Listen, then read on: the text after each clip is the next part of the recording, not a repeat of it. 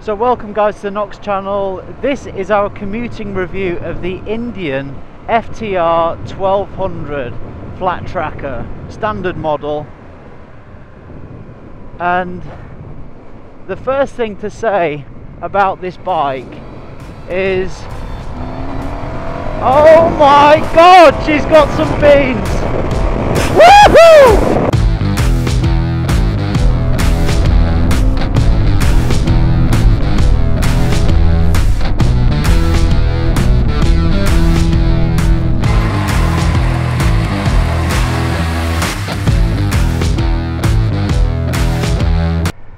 Guys, this is my general commute to work every day, which most of the time I'm doing on a motorbike. But, you know, like any sort of normal biker, I'm gonna attach in a couple of roads that are a little bit twistier. So it's a commute, but you know, capturing some of the better roads as well that we've got here. And the one that uh, I'm about to take you on is probably one of my favourite stretches in all of Cumbria. It's only a little two mile section, but it's just got some banging corners on it. So anyway, uh, enough of that. Maybe we'll start doing like little commuting reviews like this, the separate to the bigger reviews, the, the sort of higher production value reviews that we do. Um, because actually I think they're worthwhile. You know, what what is a motorbike like to actually commute to and from work uh, it, it on? You know what what does it feel like? What does it ride like? How comfortable is it? All that kind of stuff. So hopefully I'll cover some of that stuff while I'm on this commute and give you a bit of a different insight you know rather than we just sort of stood behind the bike and nice uh, images going on or nice video going on. But we've had this bike for what um, oh my god that power is just stonking absolutely stonking. Yeah, so we've had the we've had the bike for about three months now that we had for our 2020 photo shoot, and you know, obviously we've had lockdown in between, so I haven't ridden it like maybe as much as I wanted, but we put a good, put a good 500 miles on it, and it's just it's just awesome. Got, you know, I think we've got a pretty good experience of it now after all this time and you know the first thing about it is it's a hooligan bike. It comes from a flat tracker. Um, it comes from a flat tracker and, and therefore it's it, I, I'm struggling to think of a bike I can directly relate it to uh, certainly that I've ridden. Um, it's entirely different. Um, you know the motor is absolutely bonkers on it. The mid-range punch on this thing the roll-on real-world performance is absolutely insane I mean there's times where you you you know you go to overtake a car and you maybe think god there's so much pull am I in fourth and then you look down and you think crikey no I'm in sixth it's it's oh it's just got guts um, which makes it incredibly entertaining to ride. I, you know, disagree with me on this or not. I, I don't know, but I'm pretty much going to hang me hat on the idea that this bike isn't for new riders or you know guys that have just been riding a couple of years. I think it's a bit more of a it's a bit more hooligan than that really I think. I would pitch this bike more towards someone who's getting a bit bored with motorcycling, someone who wants a bit of their juices flowing again and that is what I love about this bike. I mean, there is so many uh, what I would class as boring motorcycles uh, av available in the marketplace right now. Um, you know, electronics up to the teeth, just haven't got that much bite. Well, this thing is an animal. This thing like sticks two fingers up at all of that stuff. Um, the standard model hasn't got any electronics. You got ABS, but ain't got any electronics. No rider modes, no traction control, no nothing and combined with like not that much grip on the rear and um, you know a super lumpy engine you've just got a, a beast you know that'll uh, spin up the rear tire it will um, especially in the wet it's unbelievable and it's just got so much grunt I just don't think it's a bike for new beginners, uh, new new new riders at all. Um, so sorry to say that if you're watching in and thinking that might this might be your next bike if you're in that position. What else is it like? In the dry, it's a bike that you can really hoon. You know, I think that this maybe it's had a bit of uh, stick or a bit of stigma, maybe about its handling you know, as in it doesn't handle. It's typical American. People have sort of hit it with the uh, with the Harley stick, I think, and said, "Oh well, it's American, therefore it doesn't handle." This thing handles, and in the dry, I mean, you can really uh, hoon this bike around, no problems. It'll stick with um, a lot of other bikes, very stable. You know, okay, are there other bikes out there that have got more uh, grip? that have got more, um, you know, lighter and flickable? Yes, of course there are. And it's not as light and flickable as an R9T or something like that. But, you know, it handles, no doubt, it's really stable in the corners. I, I think it's, it's way better than what I was expecting. And the tyres in the dry are fantastic. Why have I got full beams on? There we go. Um, the tyres in the dry are, are, are, really good, no issues with them. And then what you do is you bring this bike onto the wet, and I tell you what, a new world of wet weather riding is opened up to you. Um, and I'll try and put some clips in now of me riding last night in the rain.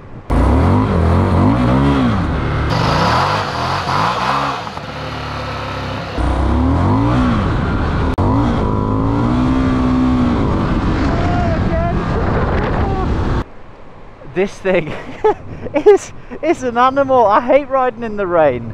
It's just miserable generally. But on this thing, it's unbelievable. You you're coming out of every corner, every uh, roundabout, every you know acceleration. You wind that throttle on and you spin up the rear like there is nothing else.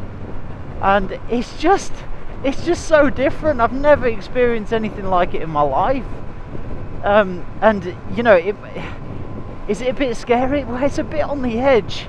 It's a bit on the edge, and that's why I don't think it's a bike for new riders. I mean, I think it would scare them absolutely to death. Um, having said that, you know, it's not something I've ever done on a motorbike before. Um, and you tend to think, well, you know, is that quite advanced riding or whatever? Honestly, mate, it's dead easy. You're in the wet, and you crank this thing on, and I tell you it just goes it just it just it just spins up and because I think it's something to do with the ergonomics the the, the long swing arm um, element of it uh, the arguable lack of rear grip. It just spins up, matched with the punchy engine. It just spins up. It's unbelievable. I think I had it yesterday. 60 miles an hour in sixth gear and I give it a whack and it spun up. Absolutely. It's just insane when have you ever heard a motorcycle do that? It's a it's a muscle bike. One of the things it's not very good on is fuel. I mean this this bike is not great on fuel i'll just say. Um, but then again you know do you expect a muscle bike? Would you expect a a corvette to be good on fuel? Well i wouldn't. And i think that's just sort of a part of having a bike like this is that um, you know it doesn't doesn't have massively good fuel uh, e e economy basically. But you know does that really bother you when you're just out for a hoonage and you're buying this bike for you know effectively what it is? It doesn't bother me. Um, ergonomically it's really really comfortable. I mean we rode the other day all day and it's a very comfortable bike. The seat is lovely the seat is absolutely lovely. Um, very soft very uh, wide. You just feel comfortable on it. Obviously it's a you know it's a naked flat track position so you know it's just a comfortable bike you know and an all day riding on this is not going to be a problem. Obviously when you get up to speed like 60 70 80 mile an hour there's quite a maybe not 60 but uh, speeds above that you're getting a bit of wind blast and stuff. And um, that is just what it is, and you're not ever going to get around that with a bike like this. Let's see if I can get it in the air.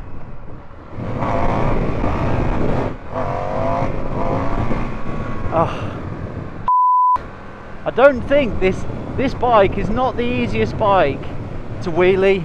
It just isn't. Um, I think it's something to do. Yeah, of course you can get it in the air. No issues. You can get it in the air. Um, not a problem with that because it's got loads of grunt.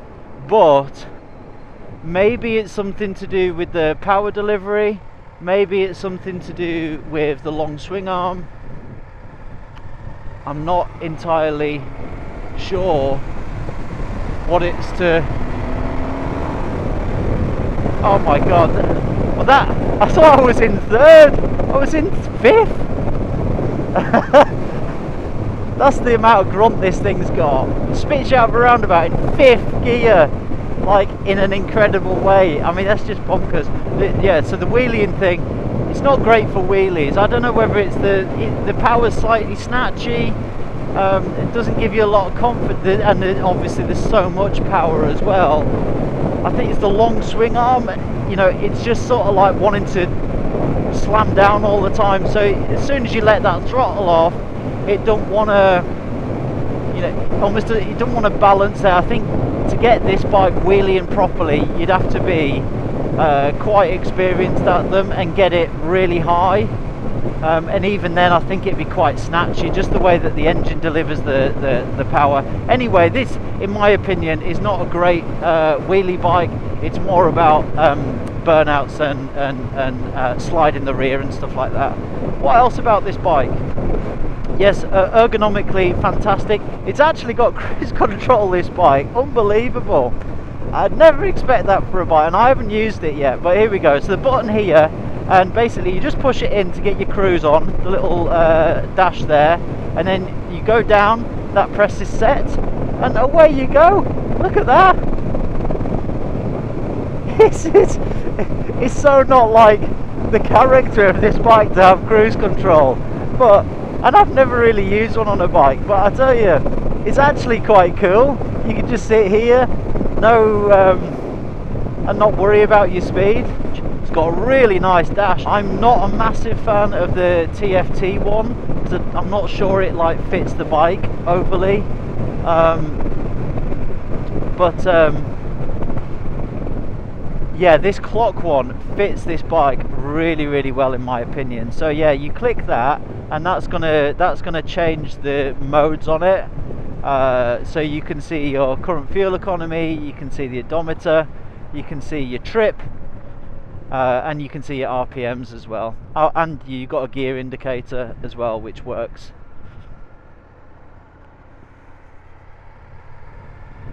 yes the handling on this bike I mean you know surprisingly good